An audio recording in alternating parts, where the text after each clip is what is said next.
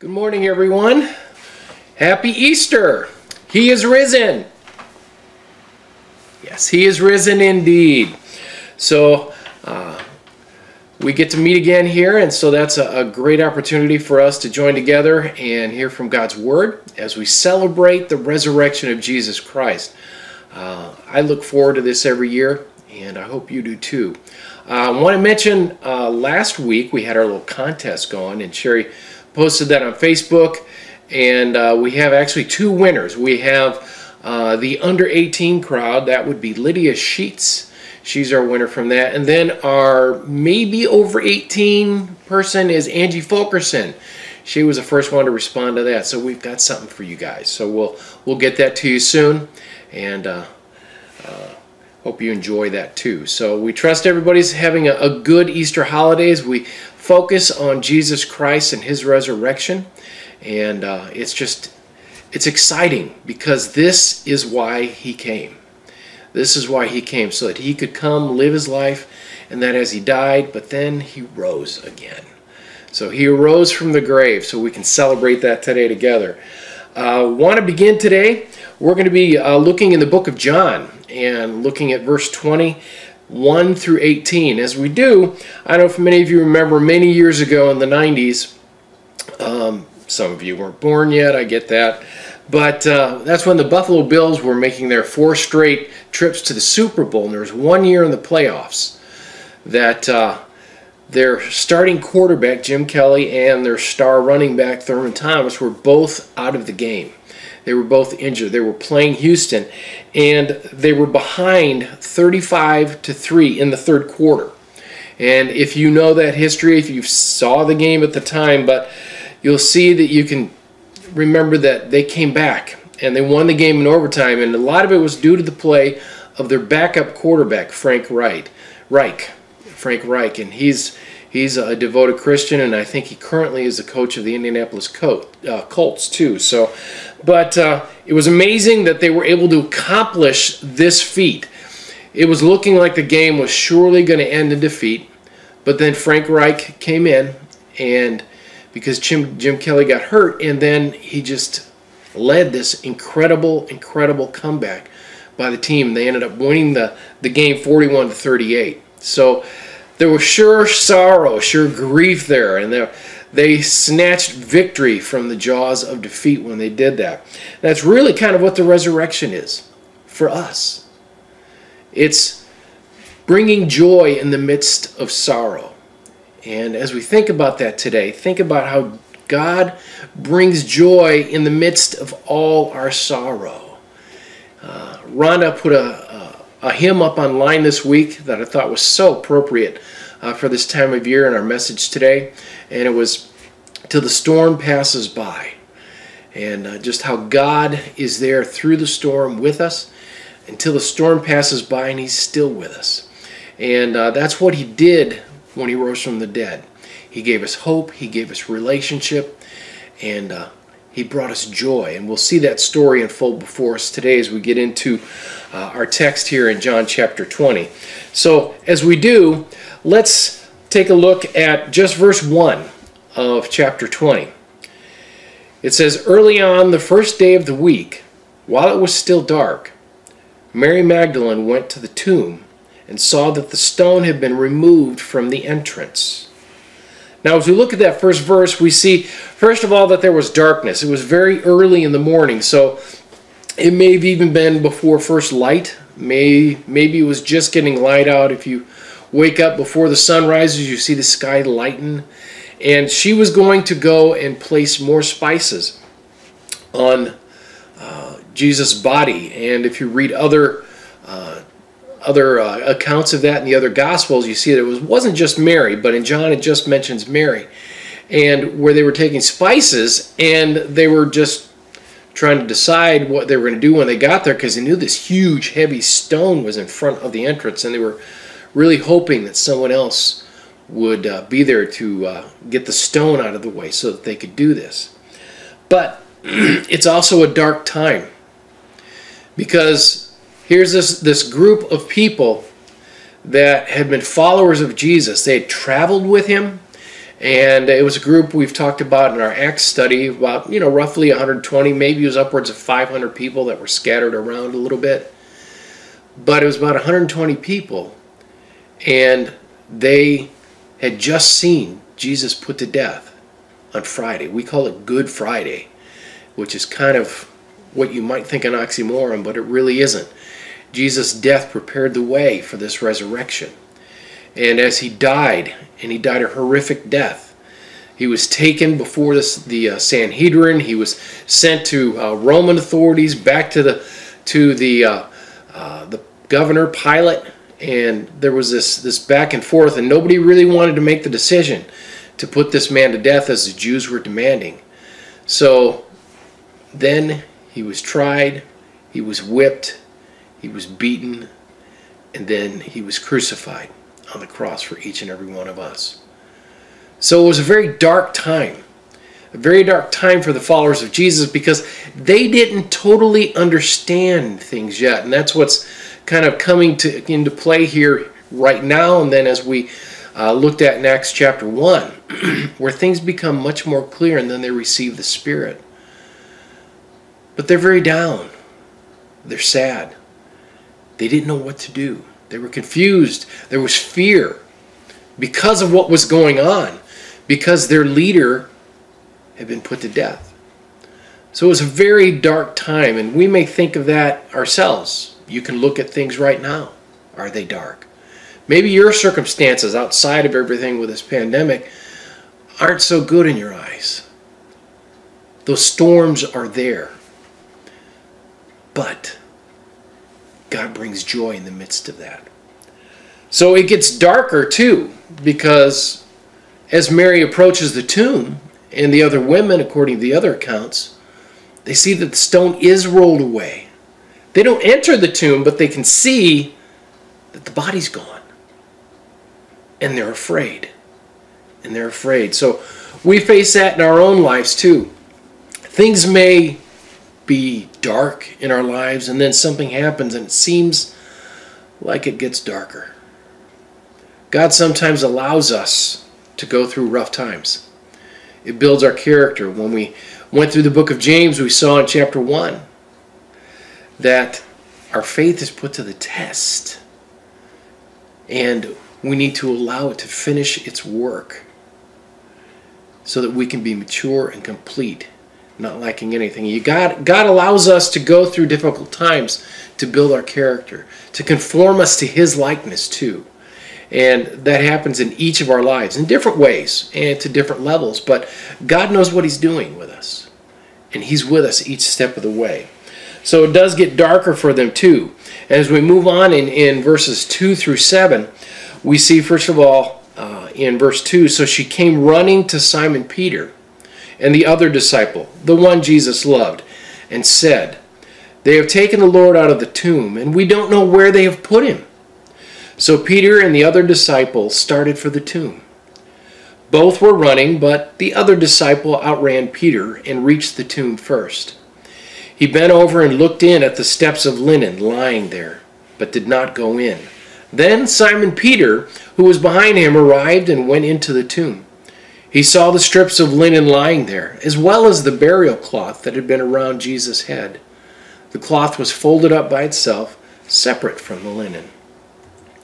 So we see Mary running to go and get Peter and John. So the one that Jesus loved. It seems John liked to make that reference in his gospel to the one that Jesus loved. I don't know if he's trying to say I'm the favorite, but we see that from time to time and uh, it's mentioned there. So we knew Jesus had a great affinity for John. And so Mary runs and tells Peter, she tells John, and then they take off running.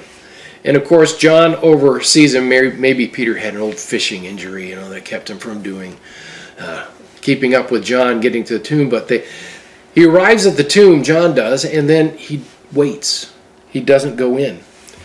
So they all run back to the tomb, and then Peter gets there, and then Mary gets back to the tomb too. And they examine the scene. Peter doesn't really hesitate. John's waiting at the entrance to the tomb, but Peter then just goes right on in. You know, impulsive Peter, he's just barreling right ahead and see what's going on. So, and as they get there, they see that the burial cloth is there. That the small cloth that was put around the head was folded up and placed on the slab that was in the tomb, which was most likely a cave that had been carved out of the rock for this purpose. The stone was rolled away. They see the grave clothes of Jesus and they're confused. And they're confused. However, John sees this and he understands. And he understands. So Peter and Mary are still puzzled by what's going on. In fact, Mary is is overcome with grief. We'll get into that in a minute, but but then Peter just he may turn slowly and walk out of the tomb. And he begins his slow journey home back to where he was. We know that a lot of these the disciples were together because they were afraid, really. They didn't know what was to happen. They didn't know if they were next, if the, the uh, religious leaders were going to come after them. But there they were, hanging around each other. Peter goes back to them and he's going to report to them what he's seen. John, however, understands and he believes. So let's let's get into verses 8 to 12 for a third point here. It says, Finally, the other disciple who had reached the tomb first also went inside. He saw and believed. They still did not understand from Scripture that Jesus had to rise from the dead. But he believed that Jesus was alive. Peter wasn't so sure. But John, he believed. Then the disciples went back to their homes. So you have this confusing going on, this confusing situation to them. They're probably quite befuddled. It's not something they've ever experienced before. I don't think anybody's ever been raised from the dead to their recollection. So here's Jesus. They placed him in the tomb on Friday before the Passover. And then they come back the first day of the week in the morning. And he's not there. Who could have taken him? Who could have taken him? They put Roman soldiers around to guard the tomb. It was sealed. And yet the seal was broken. The soldiers were gone, as well as Jesus. So they're trying to kind of assuming that he's not there and that his body is gone, except for John. So we see the belief. John believes that Jesus is alive. He believes that Jesus is risen from the dead. Now, just contrast what some people may think, and then even what we see from Mary in, in uh, the coming verses, too. But as we look at this, you got to think Peter and John are both at the same tomb. Both may have different ideas going through their head. They didn't understand that Jesus had to rise from the dead. So this is kind of really confusing them. John in kind of like a childlike faith, just believes that Jesus is risen. Peter, on the other hand, may have had doubts, puzzling over that. That walk back to their homes may have been a very silent one as they pondered over what they'd just seen. So it's interesting to think about that this was really rough to, to really take in. You know, we may have heard this story our whole lives and just accept it. But think about that. You've just laid a beloved person who died, who you know is dead, and you go back three days later and they're gone. I know what my first thoughts would be. What happened? Why did this happen? So, this was very difficult. But John believed that he was alive he doesn't get the scriptural connection with all the prophecies that foretold Jesus' death and resurrection. Where Jesus gave uh, clues to the religious leaders when they wanted to ask for a sign. What did he tell them? I will rebuild this temple in three days. They thought he was referring to the temple where everyone worshiped, but he was talking about his body, the temple that it would be raised in three days. Just as Jonah was in the belly of the whale for three days, he would be there. And he would rise, just as Jonah came out of the, the belly of the whale after three days. All these, these signs that are given throughout Scripture point to this very moment, which is really a culmination of the covenant God had made in the first place with Abraham, with the people of Israel, all through history as they led up to this point. Jesus was coming, and why? Because we're sinful, because we make mistakes, because we choose to go our own way, and we don't listen to Him. So we continue in John 20, 11 through 13, and we'll get to see a little bit more about Mary. It says, But Mary stood outside the tomb crying. As she wept, she bent over to look into the tomb, and saw two angels in white seated where Jesus' body had been one at the head and the other at the foot. They asked her, Woman, why are you crying? They have taken my Lord away, she said, and I don't know where they have put him. So you see Mary, who just stayed there. Peter and John exit and begin the journey home. So you got to think they didn't really discuss what was going on because there would have been a conversation between John and Mary and Peter as they they all gave their own takes on it. But Mary was just overcome. She was just overcome. She didn't understand what was going on. She was in shock. They all were. John believed.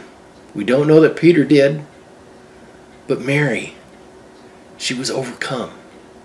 Things were very dark in her mind. She was in the midst of that storm that was going on and she didn't understand. She's overcome with grief because the teacher that she loved so much, Jesus, the Son of God, the one she had followed, was gone.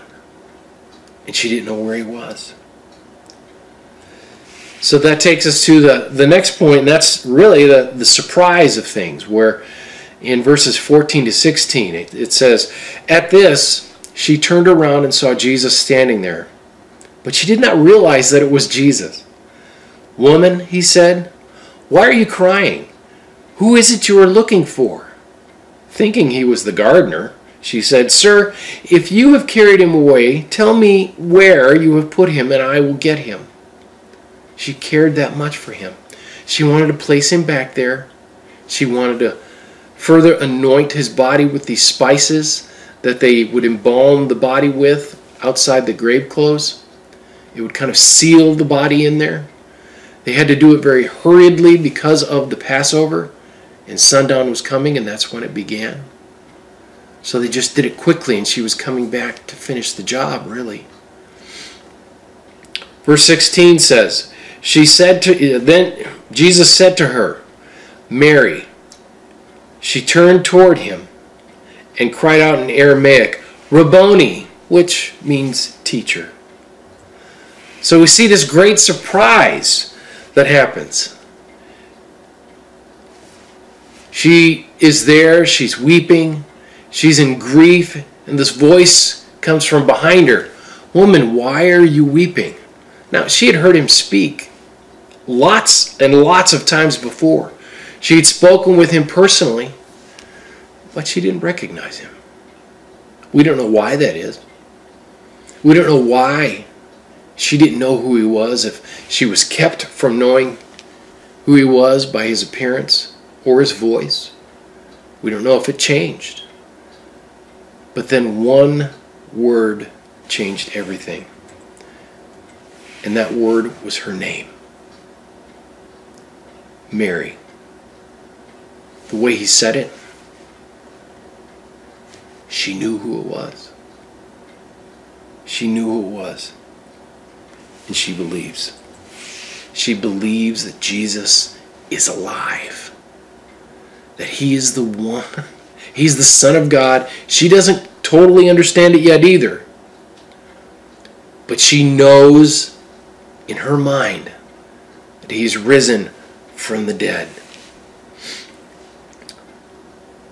Isn't that something? Sometimes we just need to hear from God. Go through a rough time. We just need to hear him say our name. And everything will be okay. It doesn't change our circumstances. What it does is it changes us. We become different in the process. And we're able to walk through those storms. Jesus is there with us. He is alive. He is risen. We go to the last two verses in 17 and 18, and it says, Jesus said, Do not hold on to me. Obviously, she was overtaken with joy. She's one minute in great sorrow and grief, mourning Jesus. Just the fact that he died, but then to find his body gone, what she was experiencing, the tragedy. And all of a sudden, he's there. He's alive. It's got to make such an incredible difference. But he said, Jesus, do not, uh, Jesus said, Do not hold on to me, for I have not yet returned to the Father. Go instead to my brothers and tell them, I am returning to my Father and your Father, to my God and your God. Mary Magdalene went to the disciples with the news, I have seen the Lord. And she told them that he had said these things to her. So we see light. You know that tunnel we find ourselves in and we don't necessarily see the light, she's seeing it right now. Because Jesus is alive. That's the only thing that has changed. Jesus is alive. And she knows it now. That he is alive. Jesus tells her to, to, to let go because she immediately clings to him, but he hasn't returned to his father, he says. And so she lets go. She steps back. And then Jesus gives her a job. He says, Mary, I want you to go and tell the disciples that I am alive. Tell them what you have seen. Now think about this. Mary Magdalene, tradition has it that she was a prostitute. She was demon possessed. She was a woman who was not in good standing. But Jesus cast out the demons from her. She grew to love this man as her Savior. She, he saved her from that lifestyle she was a part of, and she followed him. Now, he's saving her once again from the grief that she was in, from that dark tunnel that she was just in the middle of. And he gives her a job. He says, Tell everybody. He tells a woman like this to be the first one to share the good news of Jesus. He is alive. He is risen. He is risen indeed. Jesus has her go and tell the disciples. So she goes and she does just that. So, as we've gone through this, we see that Jesus brought joy in the midst of sorrow. And we know we all go through those things. We experience from time to time. Sometimes they last a while. But Jesus can bring joy. Not that we're just laughing all the time, ha ha ha, but we have assurance that He's there with us. We can face these things and we can make it through. We can see the light at the end of the tunnel. We, we hear Jesus say our name. And if you look in Scripture, we see that Jesus has a new name for each and every one of us. I'm interested to find out what that is. For me, I hope you are too. And I'm sure it's nothing negative. It's going to be something very endearing, loving. A father who cares for you that he gave his son Jesus Christ to die on the cross and then rise from the dead. That there was an empty tomb. Jesus brought purpose in the midst of confusion. Can't that be some of our problems sometimes? We see no reason. We're asking why, why, why? And we don't necessarily get those answers sometimes. But Jesus brings purpose in the midst of that.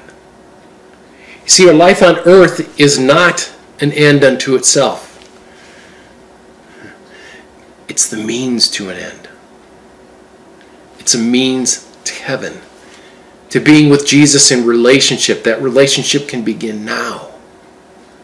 Maybe it's a relationship we've let go. Maybe we can reconnect today on Easter, celebrating his resurrection from the dead. Jesus can bring uh, joy to our life as we walk through the storms of life with him.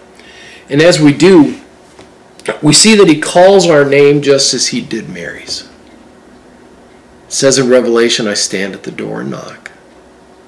If anyone hears my voice, I will enter and sup with him.